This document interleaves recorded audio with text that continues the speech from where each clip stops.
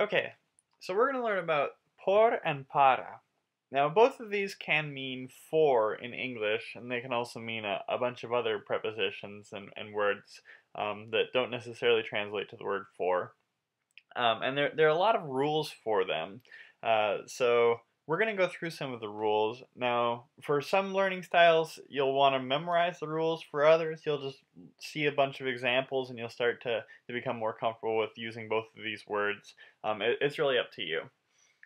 Uh, so, the first of all, we're going to go through some of the uses of por. So, one of the, the uses is to express in exchange for or on behalf of. So, te daré cinco dólares por tu reloj since I will give five dollars um, to you for your watch. So it's I'm exchanging dollars for your watch, so that's in exchange for. Te cambio mi carro por el tuyo. I'll I'll change my car or exchange for yours. Gracias por dejarme quedarme en tu casa.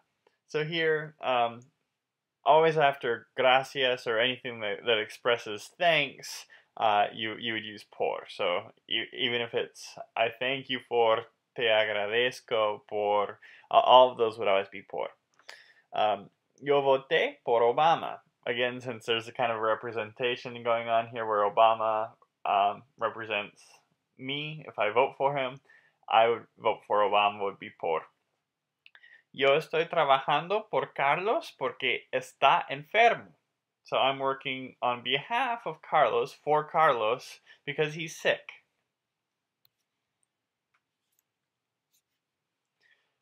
A few more uses of por are to express math, proportions, and time.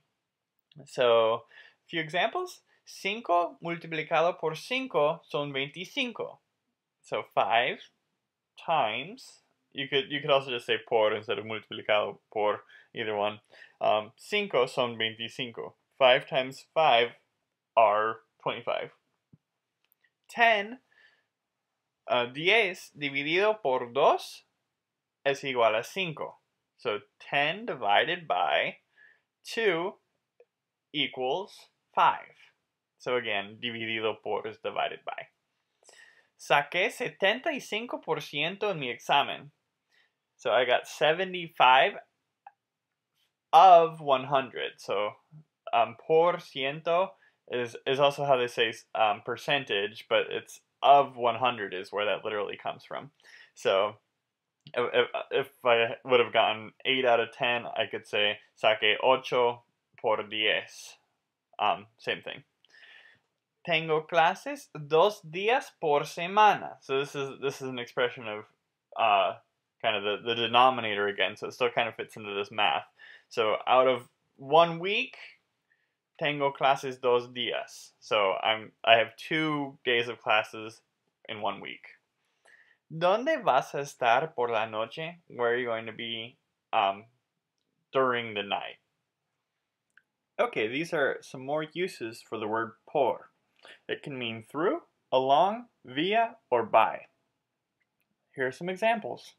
Vivo por el Río Lindo. I live by the Río Lindo, River um, Lindo. Pasé por el campo para llegar aquí. I went through the field to get here. So pasé por el campo. Um, and then to to tell which of all these words it would mean in English, you you just use context. So pasé por would mean through, whereas vivo por would be I live near, I live by. Mi hermana corre por el parque cada día. My sister runs through the park every day. Prefiero viajar por tren que avión. I prefer to travel by train or via train um, instead of plane. Tu hermano te habla por teléfono your brother talks to you via the phone, telephone. El libro fue escrito por Javier Gómez. The book was written by Javier Gómez.